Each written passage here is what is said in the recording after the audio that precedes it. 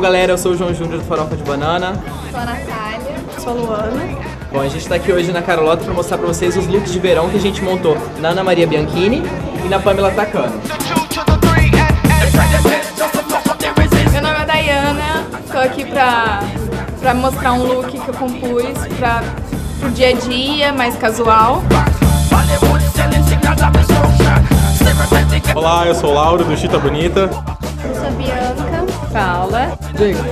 A gente está aqui no evento da Carlota e a gente vai apresentar primeiramente nossa modelo, Jéssica. Vamos começar com a Ana. A gente quis montar pra Ana, a Ana é promoter, tá sempre na balada, mas trabalha durante o dia também, né? Então a gente quis mostrar um look que atendesse tanto dia quanto noite. A gente pegou os tons rosé, tanto pra Ana quanto pra Pamela, que são os, bem os tons do verão, assim, tons pastéis e tal. A gente montou um look dia e noite nos acessórios. Jogou brilho, dourado. Coloquei também uma, uma tendência que agora é os cintos amarrados e a calça saruel. Para um look voltado mais para o Réveillon.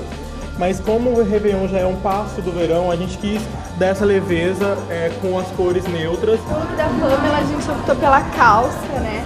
Porque é uma opção legal também para as mulheres sempre fugirem do tradicional vestido, né? Então a gente montou uma calça estampada, cintura alta.